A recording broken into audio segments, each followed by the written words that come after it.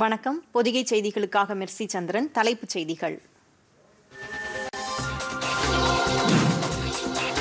நாட்டில் கொரோனா பரவல் மற்றும் தடுப்பு நடவடிக்கைகள் குறித்து மத்திய அமைச்சர்கள் மற்றும் அதிகாரிகளுடன் பிரதமர் நரேந்திர மோடி ஆலோசனை.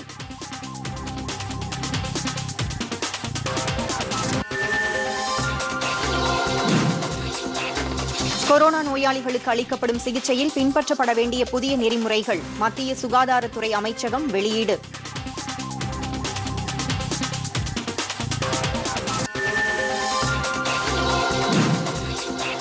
நேபாளம் தனது நாட்டிற்கான நில வரைபடத்தை திருத்தி மசோதா நிறைவேற்றியது நியாயமற்ற செயல். வெளியுறவு அமைச்சகம் கண்டனம்.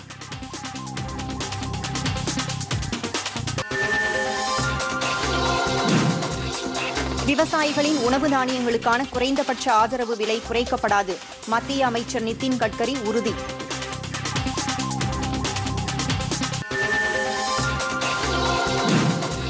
தமிழகத்தில் நேற்று ஆயிரத்து தொள்ளாயிரத்து எண்பத்தொன்பது பேருக்கு கொரோனா தொற்று. சென்னையில் ஆயிரத்து நானூற்று எண்பத்தி ஏழு பேர் பாதிப்பு. ஐம்பத்து நான்கு புள்ளி எட்டு நான்கு சதவீதம் பேர் குணமடைந்தனர். மாநில சுகாதாரத்துறை.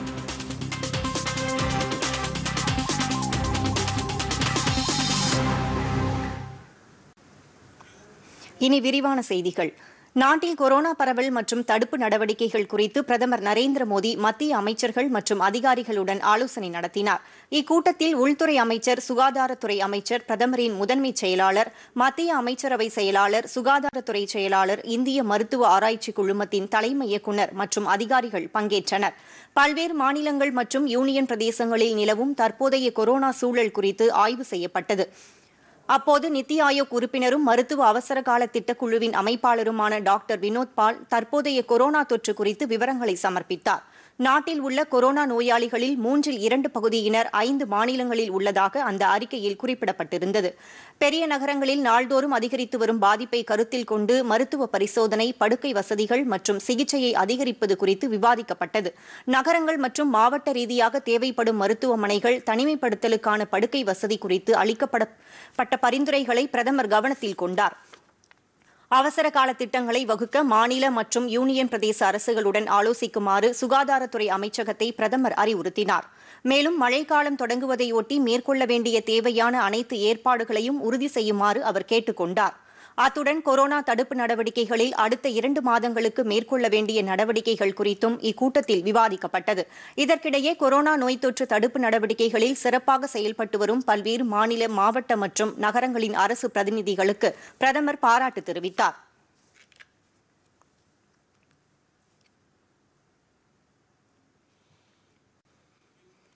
நாட்டின் அனைத்து மாநில மற்றும் யூனியன் பிரதேச முதலமைச்சர்களுடன் வரும் பதினாறு மற்றும் பதினேழாம் தேதிகளில் பிரதமர் நரேந்திர மோடி ஆலோசனை நடத்தவுள்ளார்.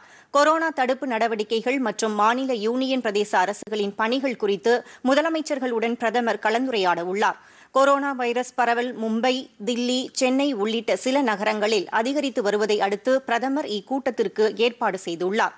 பஞ்சாப் அசாம் கேரளா உத்தராகண்ட் ஜார்க்கண்ட் உள்ளிட்ட மாநில முதலமைச்சர்களுடன் வரும் பதினாறாம் தேதி ஆலோசிக்க உள்ளார். தொற்று பாதிப்பு அதிகம் உள்ள மாநிலங்களான மகாராஷ்டிரா தமிழ்நாடு தில்லி குஜராத் உள்ளிட்ட மாநில முதலமைச்சர்களுடன் வரும் பதினேழாம் தேதி பிரதமர் நரேந்திர மோடி காணொலி மூலம் ஆலோசனை நடத்துகிறார்.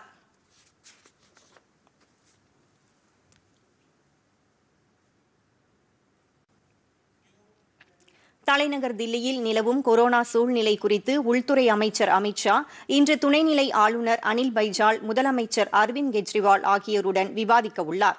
தில்லியில் கொரோனா நோய் தொற்று அதிகரித்து வரும் நிலையில் அது குறித்து விவாதிப்பதற்காக இக்கூட்டம் நடைபெறவுள்ளது அங்கு இதுவரை முப்பதாயிரத்திற்கும் மேற்பட்டோர் பாதிக்கப்பட்டு ஆயிரத்து இருநூறுக்கும் மேற்பட்டோர் உயிரிழந்தனர்.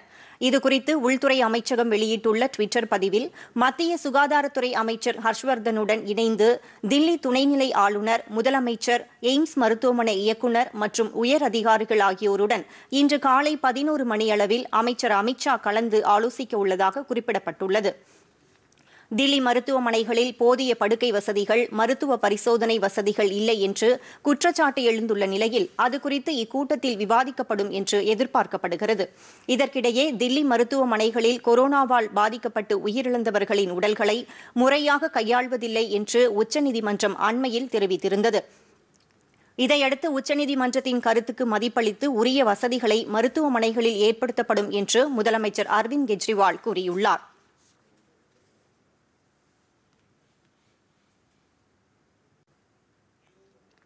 கொரோனா நோயாளிகளுக்கு அளிக்கப்படும் சிகிச்சையில் பின்பற்றப்பட வேண்டிய புதிய நெறிமுறைகளை மத்திய சுகாதாரத்துறை அமைச்சகம் வெளியிட்டுள்ளது.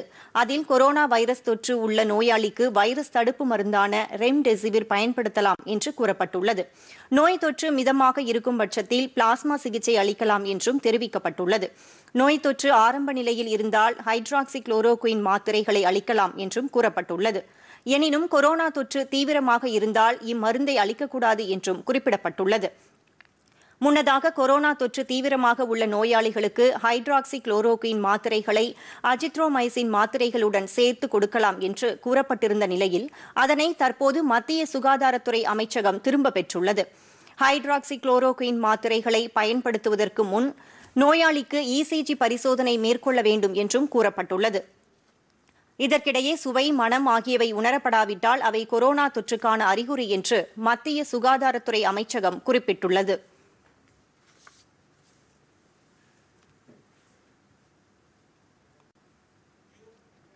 நாட்டில் கொரோனா தொற்றை தடுக்கும் வகையில் அலுவலகங்களில் கடைபிடிக்கப்பட வேண்டிய வழிமுறைகள் குறித்து மத்திய சுகாதாரத்துறை அமைச்சகம் வழிகாட்டி நெறிமுறைகளை வெளியிட்டுள்ளது.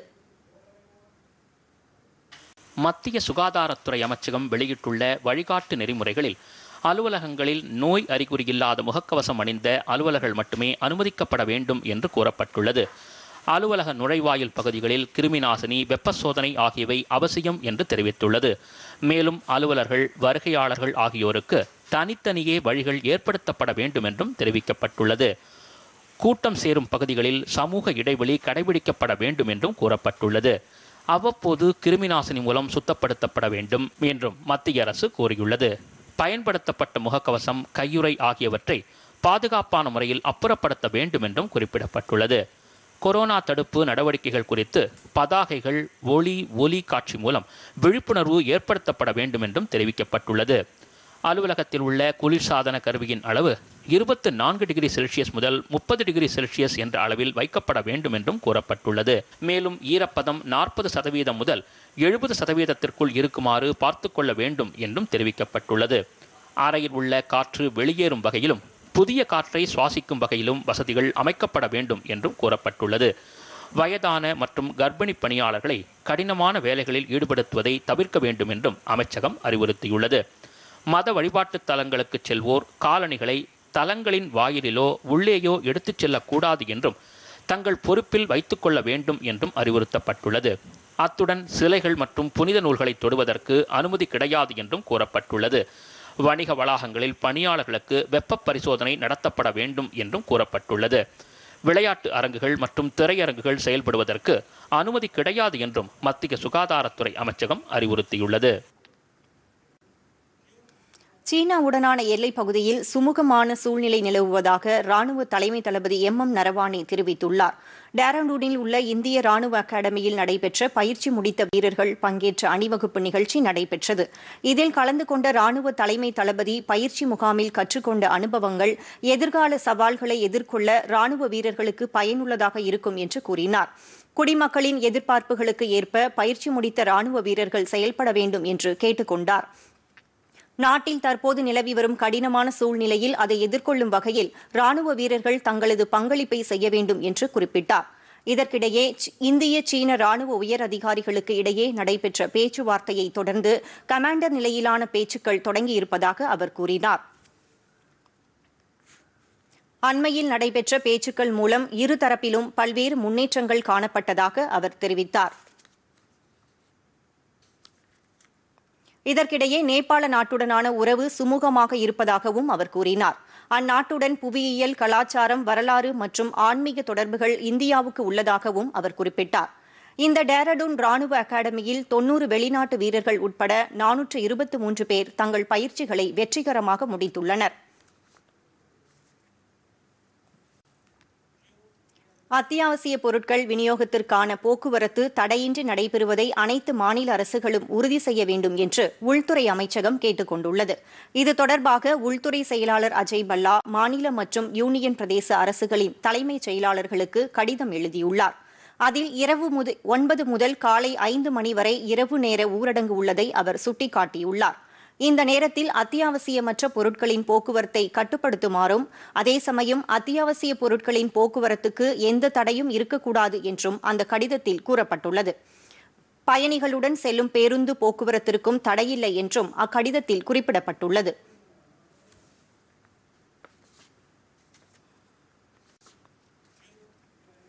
சர்வதேச யோகா தினத்தையொட்டி எனது வாழ்க்கை எனது யோகா என்ற தலைப்பில் மத்திய ஆயுஷ் அமைச்சகம் அறிவித்துள்ள இணையதள யோகா போட்டிக்கான வீடியோ பதிவுகளை அனுப்புவதற்கான கால அவகாசம் நீட்டிக்கப்பட்டுள்ளது. வரும் இருபத்தோராம் தேதி வரை இதற்கான பதிவுகளை அனுப்பலாம் என்று ஆயுஷ் அமைச்சகம் கூறியுள்ளது. முன்னதாக வரும் பதினைந்தாம் தேதிக்குள் இந்த போட்டிக்கு பதிவுகளை அனுப்ப வேண்டும் என்று ஆயுஷ் அமைச்சகம் தெரிவித்திருந்தது.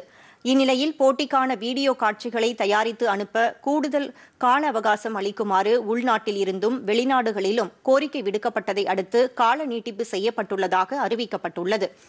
ஆயுஷ் அமைச்சகத்துடன் இணைந்து இந்திய கலாச்சார ஆராய்ச்சி குழுமமும் இதற்கான போட்டியை நடத்தவுள்ளது. கடந்த மாதம் மனதின் குரல் நிகழ்ச்சியில் உரையாற்றிய பிரதமர் அனைத்து தரப்பினரும் இப்போட்டியில் பங்கேற்குமாறு அழைப்பு விடுத்திருந்தார்.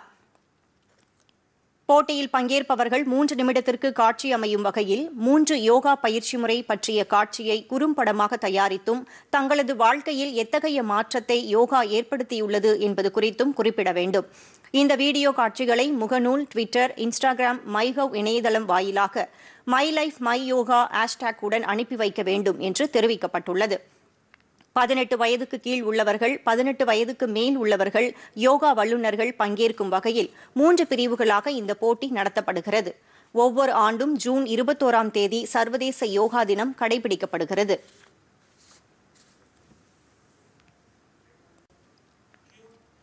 நேபாளம் தனது நாட்டிற்கான நில வரைபடத்தை திருத்தி நாடாளுமன்றத்தில் மசோதா நிறைவேற்றியது நியாயமற்ற செயல் என்று வெளியுறவு அமைச்சகம் தெரிவித்துள்ளது.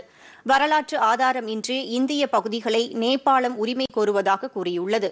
இதுகுறித்து செய்தி தொடர்பாளர் அனுராக் ஸ்ரீவத்சவா வெளியிட்டுள்ள அறிக்கையில் இரு நாடுகளுக்கு இடையேயான எல்லை விவகாரங்கள் குறித்து பேச்சுக்கள் நடைபெற்று வரும் நிலையில் இது அத்துமீறிய செயல் என்று கூறியுள்ளார். இந்திய எல்லைப் பகுதியில் உள்ள லிபுலே கலப்பானி லிம்பியாதுரா ஆகிய இடங்களை தனது பகுதிகளாக அறிவித்து புதிய வரைபடத்தை நேபாளம் வெளியிட்டுள்ளது. இதற்காக நேபாள நாடாளுமன்றத்தில் நேற்று இதற்கான மசோதா ஒருமனதாக நிறைவேற்றப்பட்டது.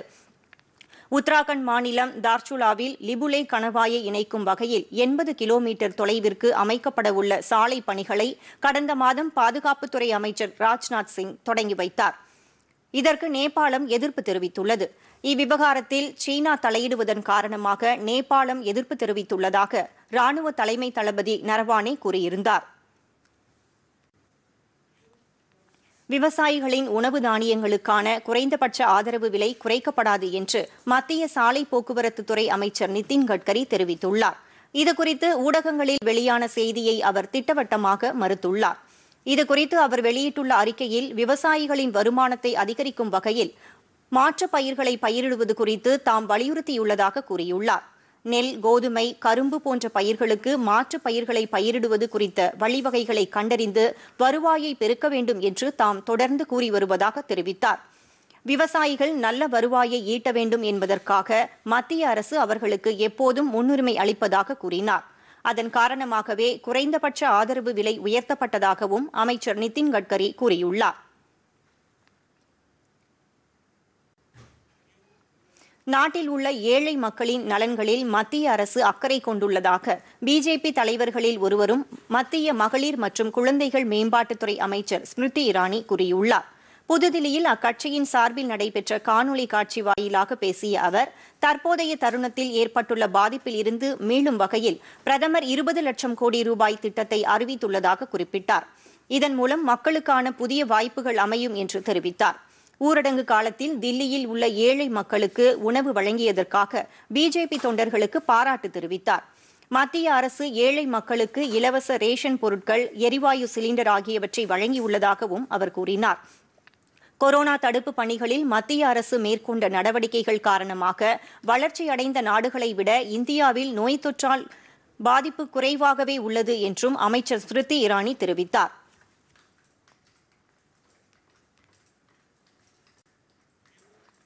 கொரோனா தடுப்பு நடவடிக்கைகளை விரைவாக எதிர்கொள்ளும் வகையில் மத்திய அரசு இணையதளம் ஒன்றை தொடங்கியுள்ளது. ஆரோக்கிய பாத் என்ற இந்த இணையதளத்தில் மருந்து உற்பத்தியாளர்கள் விநியோகம் செய்பவர்கள் மற்றும் வாடிக்கையாளர்களுக்கான தகவல்கள் இடம்பெற்றுள்ளது. இதன் மூலம் மருந்து விநியோகத்தில் ஏற்படும் தடைகள் களைய வாய்ப்புள்ளதாகவும் கூறப்படுகிறது. மருத்துவமனைகள் ஆய்வகங்கள் ஆராய்ச்சி நிறுவனங்கள் மருத்துவக் கல்லூரிகள் மற்றும் நோயாளிகளுக்கு இந்த இணையதளம் பயனளிக்கும் என்று தெரிவிக்கப்பட்டுள்ளது.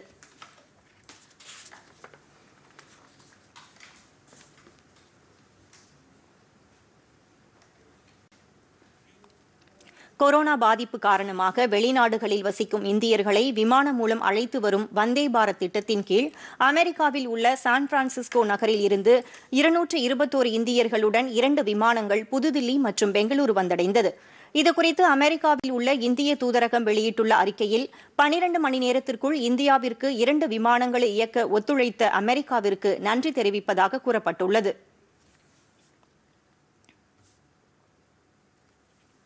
இதற்கிடையே பஹ்ரைனில் இருந்து நூற்றி எண்பது இந்தியர்கள் புதுதில்லி அழைத்து வரப்பட்டனர். இதுகுறித்து வெளியுறவு அமைச்சக செய்தி தொடர்பாளர் அனுராக் ஸ்ரீவத்சவா வெளியிட்டுள்ள அறிக்கையில் வந்தே பாரத் திட்டத்தின் கீழ் ஒரு லட்சத்து அறுபத்தைந்தாயிரத்து முன்னூற்று எழுபத்தைந்து பேர் இதுவரை அழைத்து வரப்பட்டுள்ளதாக குறிப்பிட்டுள்ளார். கடந்த மாதம் ஏழாம் தேதி முதற்கட்டமாகவும் பதினாறாம் தேதி இரண்டாம் கட்டமாகவும் வெளிநாட்டு இந்தியர்கள் அழைத்து வரப்பட்டனர். இம்மாதம் பதினோராம் தேதி தொடங்கிய மூன்றாவது கட்ட சேவை இம்மாத கடைசி வரை தொடரும் என்றும் வெளியுறவு அமைச்சக செய்தி தொடர்பாளர் குறிப்பிட்டுள்ளார்.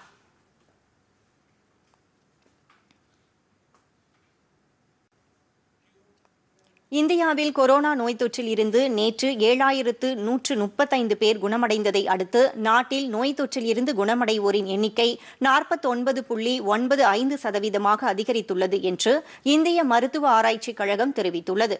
இதனால் இதுவரை இந்நோய் தொற்றில் இருந்து குணமடைந்தோரின் ஒட்டுமொத்த எண்ணிக்கை ஒரு லட்சத்து அறுபத்தி இரண்டாயிரத்து முன்னூற்று இருபத்தி ஆறாக அதிகரித்துள்ளது. எனினும் ஒன்பதாயிரத்து நூற்று தொன்னூற்றொன்பது பேர் உயிரிழந்துள்ள நிலையில் இதுவரை நோய் தொற்றால் பாதிக்கப்பட்டோரின் எண்ணிக்கை மூன்று லட்சத்து இருபத்தோராயிரத்து அறுநூற்று இருபத்து ஆறாக உள்ளது.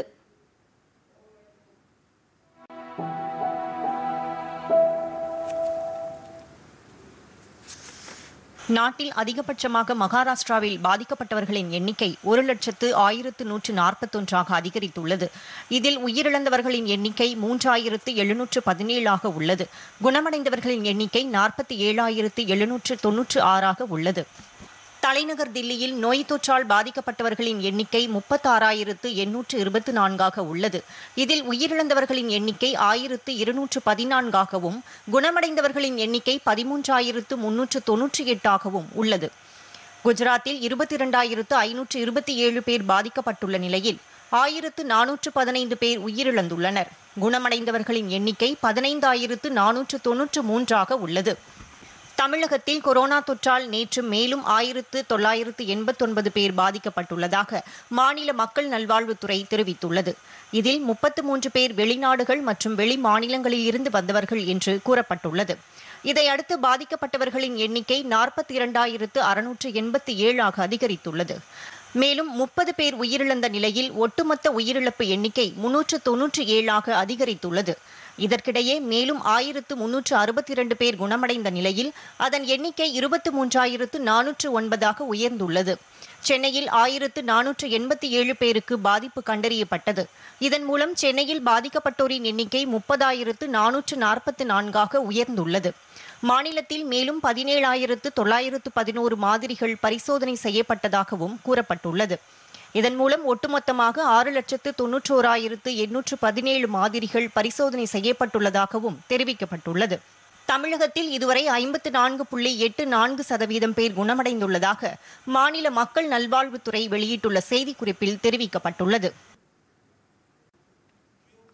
பெருநகர சென்னை மாநகராட்சிக்குட்பட்ட பகுதிகளில் மேற்கொள்ளப்பட்டு வரும் கொரோனா வைரஸ் தொற்று தடுப்பு மற்றும் பாதுகாப்பு நடவடிக்கைகள் குறித்து மாநகராட்சி உதவி பொறியாளர்களுடனான ஆலோசனைக் கூட்டம் மாநகராட்சி ஆணையர் பிரகாஷ் தலைமையில் நேற்று நடைபெற்றது. நோய் தொற்று தடுப்பு பணியின் ஒரு பகுதியாக பதினைந்து மண்டலங்களிலும் உள்ள இருநூறு கோட்டங்களிலும் இருநூறு உதவி பொறியாளர்கள் மற்றும் இளநிலை பொறியாளர்கள் நியமிக்கப்பட்டுள்ளனர். இவர்கள் தலைமையில் நோய் தொற்று பாதித்த நபரை மருத்துவமனைக்கு அழைத்து செல்லுதல் மற்றும் கண்காணித்தல் பணிகள் நடைபெறும் என்று தெரிவிக்கப்பட்டுள்ளது. மேலும் இவர்களின் தலைமையில் பதினோராயிரத்து ஐநூறு பணியாளர்கள் தினந்தோறும் வீடு வீடாக சென்று வைரஸ் தொற்றுக்கான அறிகுறி உள்ளதா என்பது குறித்து ஆய்வு நடத்துவார்கள் என்றும் கூறப்பட்டுள்ளது. மாநகராட்சியின் கட்டுப்படுத்தப்பட்ட அனைத்து பகுதிகளிலும் கிருமி நாசினி தெளித்தல் ஊட்டச்சத்து மாத்திரைகளை வழங்குதல் கபசுர குடிநீர் வழங்குதல் உள்ளிட்ட நோய் தடுப்பு பணிகளோடு விழிப்புணர்வு பணிகளையும் தன்னாளர் தன்னார்வலர்களுடன் இணைந்து இக்குழு செயல்பட அறிவுறுத்தப்பட்டுள்ளது என்று மாநகராட்சியின் செய்திக்குறிப்பில் தெரிவிக்கப்பட்டுள்ளது. கொரோனா தடுப்பு நடவடிக்கைகளில் தமிழக அரசு அதிக கவனம் செலுத்தி வரும் அதே வேளையில் வளர்ச்சிப் பணிகளுக்கும் முக்கியத்துவம் அளித்து வருகிறது என்று மாநில மின்சாரம் மற்றும் மதுவிலக்கு ஆயத்தீர்வைத்துறை அமைச்சர் தங்கமணி தெரிவித்துள்ளார். நாமக்கல் மாவட்டத்தில் தமிழ்நாடு ஊரக புத்தாக்க திட்டத்தின் கீழ் நடைபெற்ற கோவிட் சிறப்பு நிதியுதவி வழங்கும் நிகழ்ச்சியில் அமைச்சர் கலந்து கொண்டு பனிரண்டு ஊராட்சி அளவிலான கூட்டமைப்புகளுக்கும் மகளிர் சுயஉதவிக் குழுக்களுக்கும் இருபத்தி நான்கு லட்சம் ரூபாய் அளவிற்கு நிதியுதவி வழங்கினார். அப்போது பேசிய அவர் கொரோனா பாதிப்பில் இருந்து மீண்டு வருவதற்கு தமிழக அரசு பெண்கள் உதவிக் குழுக்களுக்கு முழு மானியத்துடனான கொரோனா நிவாரண கடனுதவிகளை வழங்கி வருகிறது என்றார். கொரோனா பாதிப்பில் இருந்து பொருளாதாரத்தை மீட்டெடுக்க இத்திட்டத்தை மாநில அரசு செயல்படுத்தி வருவதாகவும் இதனை பயன்படுத்தி சிறு தொழில் செய்யும் பெண்கள் சிறப்பாக செயல்பட்டு முன்னேற வேண்டும் என்றும் அவர் கேட்டுக் கொண்டார் இத்திட்டத்தின் மூலம் மாவட்டத்தில் உள்ள ஆயிரத்து தொன்னூற்றி ஒன்பது சுய உதவி குழுக்களுக்கு ஏழு கோடியே எட்டு லட்சத்து இருபத்தைந்தாயிரம் ரூபாய் அளவிற்கு கோவிட் சிறப்பு கடன் உதவி வழங்கப்பட உள்ளது குறிப்பிடத்தக்கது. திருவண்ணாமலை மாவட்டத்தில் முப்பது மாற்றுத்திறனாளிகளுக்கு ரூபாய் ஐந்து லட்சம் மதிப்பிலான நலத்திட்ட உதவிகளை மாநில இந்து சமய அறநிலையத்துறை அமைச்சர் சேவூர் ராமச்சந்திரன் நேற்று வழங்கினார். திருவண்ணாமலை மாவட்டம் ஆரணி சட்டமன்ற தொகுதிக்குட்பட்ட அனைத்து வகையான மாற்றுத்திறனாளிகளுக்கும் சட்டமன்ற உறுப்பினரின் தொகுதி மேம்பாட்டு நிதியில் இருந்து இந்த நலத்திட்ட உதவிகள் வழங்கப்பட்டது. மேலும் கொரோனா நோய் தடுப்பு பணிகளுக்கான மாற்றுத்திறனாளிகளுக்கு கிருமி நாசினி முகக்கவசம் மற்றும் உணவுப் பொருட்கள் அடங்கிய தொகுப்புகளும் இந்நிகழ்ச்சியில் வழங்கப்பட்டது. அதேபோல் முதுகு தண்டுவடத்தால் பாதிக்கப்பட்ட மாற்றுத்திறனாளிகளுக்கு வாட்டர் பெட் மூன்று சக்கர மோட்டார் வாகனம் தையல் இயந்திரங்கள் உள்ளிட்ட பொருட்களும் இந்த நிகழ்ச்சியில் வழங்கப்பட்டது. இந்நிகழ்ச்சியில் திருவண்ணாமலை மாவட்ட மாற்றுத்திறனாளிகள் நல அலுவலர் உள்ளிட்ட அரசு அலுவலர்கள் பலர் கலந்து கொண்டனர்.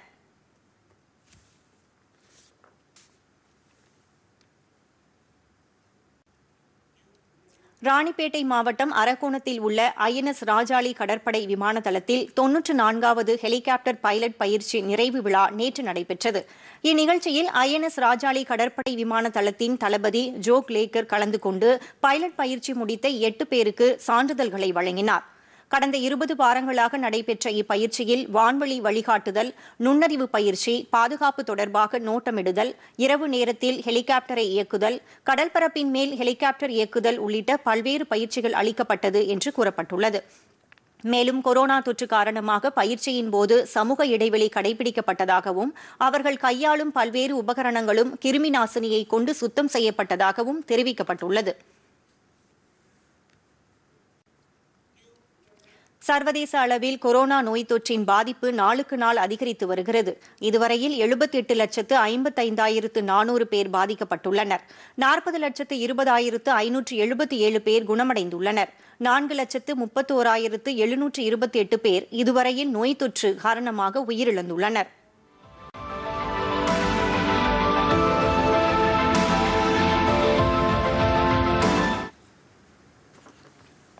சர்வதேச அளவில் அதிகபட்சமாக அமெரிக்காவில் இருபத்தோரு லட்சத்து நாற்பத்தி இரண்டாயிரத்து நூற்று ஐம்பத்தொன்பது பேர் கொரோனா தொற்றால் பாதிக்கப்பட்டுள்ளனர். அங்கு இதுவரையில் ஒரு லட்சத்து பதினேழாயிரத்து ஐநூற்று இருபத்தி ஆறு பேர் உயிரிழந்துள்ளனர். குணமடைந்தோர் எண்ணிக்கை எட்டு லட்சத்து ஐம்பத்தி இரண்டாயிரத்து நானூற்று எழுபத்தொன்பதாக உள்ளது. பிரேசில் நாட்டில் மொத்த பாதிப்பு எட்டு லட்சத்து ஐம்பதாயிரத்து எழுநூற்று தொன்னூற்று ஆறாக உள்ள நிலையில் நாற்பத்தி இரண்டாயிரத்து எழுநூற்று தொன்னூற்றோரு பேர் உயிரிழந்துள்ளனர். இதுவரையில் நான்கு லட்சத்து இருபத்தி ஏழாயிரத்து அறுநூற்று பத்து பேர் குணமடைந்துள்ளனர். ரஷ்யாவில் ஐந்து லட்சத்து இருபதாயிரத்து நூற்று இருபத்தொன்பது பேர் பாதிக்கப்பட்டுள்ளனர். ஆறாயிரத்து எண்ணூற்று இருபத்தொன்பது பேர் உயிரிழந்துள்ளனர். குணமடைந்தோர் எண்ணிக்கை இரண்டு லட்சத்து எழுபத்து நான்காயிரத்து அறுநூற்று நாற்பத்தொன்றாக உள்ளது. இங்கிலாந்தில் இரண்டு லட்சத்து தொன்னூற்று நான்காயிரத்து முன்னூற்று எழுபத்தைந்து பேர் பாதிக்கப்பட்டுள்ளனர். நாற்பத்தோராயிரத்து அறுநூற்று அறுபத்தி இரண்டு பேர் உயிரிழந்துள்ளனர். ஸ்பெயினில் இரண்டு லட்சத்து தொண்ணூறாயிரத்து அறுநூற்று எண்பத்தைந்து பேர் பாதிக்கப்பட்டுள்ளனர். இருபத்தி ஏழாயிரத்து நூற்று முப்பத்தாறு பேர் உயிரிழந்துள்ளனர். இத்தாலியில் இதுவரை இரண்டு லட்சத்து முப்பத்தாறாயிரத்து அறுநூற்று ஐம்பத்தோரு பேர் பாதிக்கப்பட்டுள்ள நிலையில் அங்கு உயிரிழப்பு முப்பத்து நான்காயிரத்து முன்னூற்று ஒன்றாக உள்ளது. அதேபோல் பிரான்சில் இதுவரை ஒரு லட்சத்து ஐம்பத்தாறாயிரத்து எண்ணூற்று பதிமூன்று பேர் பாதிக்கப்பட்டுள்ள நிலையில் அங்கு உயிரிழப்பு இருபத்தெட்டாயிரத்து முன்னூற்று தொன்னூற்றி எட்டாக உள்ளது. நாட்டில் முதன்முறையாக அந்நிய செலாவணி கையிருப்பு அதிக அளவில் உயர்ந்துள்ளது. இதுகுறித்து ரிசர்வ் வங்கி வெளியிட்டுள்ள செய்திக்குறிப்பில் நானூற்று அறுபத்து மூன்று புள்ளி ஆறு மூன்று பில்லியன் டாலர் அளவுக்கு இருந்த அந்நிய செலாவணி கையிருப்பு இம்மாதம் ஐந்தாம் தேதியுடன் ஒரே வாரத்தில் எட்டு புள்ளி இரண்டு இரண்டு பில்லியன் டாலர் அதிகரித்து ஐநூற்று ஒரு புள்ளி ஏழு பூஜ்ஜியம் பில்லியன் டாலர் அளவிற்கு உயர்ந்துள்ளதாக குறிப்பிடப்பட்டுள்ளது. இது அதற்கு முந்தைய வாரத்தில் மூன்று புள்ளி நான்கு நான்கு பில்லியன் டாலர் அந்நிய செலாவணி கையிருப்பு அதிகரித்து நானூற்று தொன்னூற்று மூன்று புள்ளி நான்கு எட்டு பில்லியன் டாலர் அளவாக இருந்ததாகவும் குறிப்பிடப்பட்டுள்ளது. கொரோனா சிகிச்சைக்கான மருந்துகளை அனைத்து நாடுகளும் சமமாக பகிர்ந்து கொள்வதை உறுதி செய்ய வேண்டும் என்று உலக சுகாதார அமைப்பின் தலைமை இயக்குநர் டெட்ராஸ் அதானம் கூறியுள்ளார். இதுகுறித்து செய்தியாளர்களிடம் பேசிய அவர் உயிர் காக்கும் வகையில் உலகில் உள்ள அனைத்து மக்களுக்கும் கொரோனா சிகிச்சைக்கான மருந்துகள் கிடைக்கப்பெற வேண்டும் என்று தெரிவித்தார். அமெரிக்கா உள்ளிட்ட சில நாடுகள் இதற்கான மருந்துகளை பதுக்குவதாக வந்த குற்றச்சாட்டு குறித்து கவலை தெரிவித்த அவர் இதன் மூலம் ஏழை நாடுகள் சிகிச்சை அளிக்க முடியாமல் பாதிக்கப்படுவதாக குறிப்பிட்டார். உலகின் பல்வேறு நாட்டு தலைவர்கள் கொரோனா சிகிச்சைக்கான மருந்தை பகிர்ந்து கொள்ள வேண்டும் என்று தெரிவித்துள்ளதை வரவேற்பதாக கூறிய அவர் அதை தொடர்ந்து செயல்படுத்த வேண்டும் என்று கூறினார். இதற்காக அனைத்து நாடுகளின் தலைவர்களும் இணைந்து செயல்பட வேண்டும் என்று உலக சுகாதார அமைப்பின் தலைமை இயக்குநர் தெரிவித்தார். தமிழகத்தில் நீலகிரி கோயம்புத்தூர் கன்னியாகுமரி தூத்துக்குடி திருநெல்வேலி ஆகிய மாவட்டங்களில் இன்று லேசான மழை பெய்யக்கூடும் என்று சென்னை வானிலை ஆய்வு மையம் தெரிவித்துள்ளது. சென்னையை பொறுத்தவரை வானம் மேகமூட்டத்துடன் காணப்படும் என்று கூறியுள்ளது. வெப்பநிலையை பொறுத்தவரை அதிகபட்சமாக முப்பத்தெட்டு டிகிரி செல்சியஸாகவும் குறைந்தபட்சமாக இருபத்தொன்பது டிகிரி செல்சியஸாகவும் பதிவாகக்கூடும் என்றும் வானிலை மையம் தெரிவித்துள்ளது.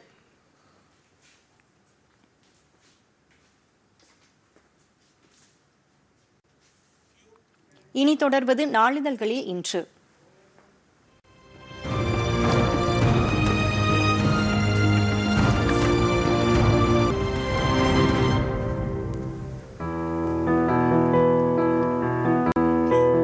தேனி மாவட்டம் ஆண்டிப்பட்டி அருகே பதிமூன்றாம் நூற்றாண்டைச் சேர்ந்த பாண்டிய மன்னர் காலத்து கல்வெட்டு கண்டுபிடிப்பு தினத்தந்தி.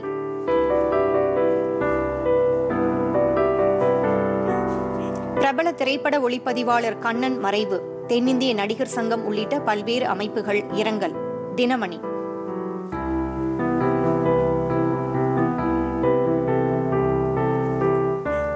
பள்ளித் தேர்வை இரண்டு பருவமாக குறைக்க யோசனை கல்வித்துறை ஆய்வறிக்கையில் பரிந்துரை.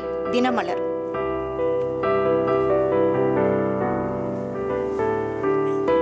சிபிஎஸ்இ பத்து பனிரெண்டாம் வகுப்பு தேர்வு முடிவு ஆகஸ்ட் பதினைந்தில் வெளியிடப்படும். மத்திய மனிதவள மேம்பாட்டு அமைச்சர் ரமேஷ் பொக்ரியால். தினகரன். பயணிகளின் உடல் வெப்பத்தை துல்லியமாக கண்டறிய ரயில் நிலையங்களில் இரண்டடுக்கு தெர்மல் கேமரா படிப்படியாக அமல்படுத்த ரயில்வே முடிவு. ஹிந்து தமிழ் திசை.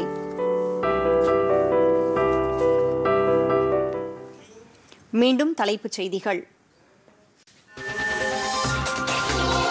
நாட்டின் கொரோனா பரவல் மற்றும் தடுப்பு நடவடிக்கைகள் குறித்து மத்திய அமைச்சர்கள் மற்றும் அதிகாரிகளுடன் பிரதமர் நரேந்திர மோடி ஆலோசனை.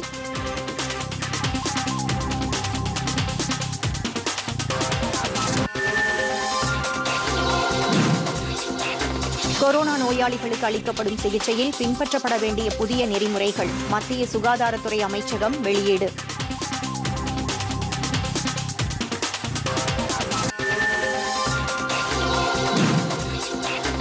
நேபாளம் தனது நாட்டிற்கான நில வரைபடத்தை திருத்தி மசோதா நிறைவேற்றியது நியாயமற்ற செயல். வெளியுறவு அமைச்சகம் கண்டனம்.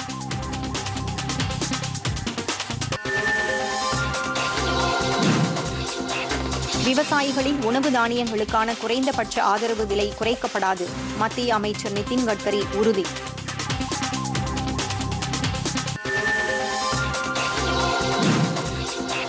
தமிழகத்தில் நேற்று ஆயிரத்து தொள்ளாயிரத்து எண்பத்தொன்பது பேருக்கு கொரோனா தொற்று. சென்னையில் ஆயிரத்து நானூற்று எண்பத்தி ஏழு பேர் பாதிப்பு. ஐம்பத்து நான்கு புள்ளி எட்டு நான்கு சதவீதம் பேர் குணமடைந்தனர். மாநில சுகாதாரத்துறை.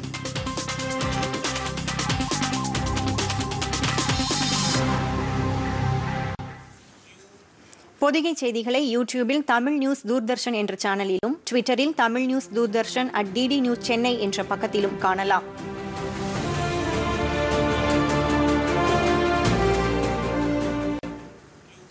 இத்துடன் செய்திகள் நிறைவடைகின்றன. மீண்டும் செய்திகள் காலை பதினோரு மணிக்கு. வணக்கம்.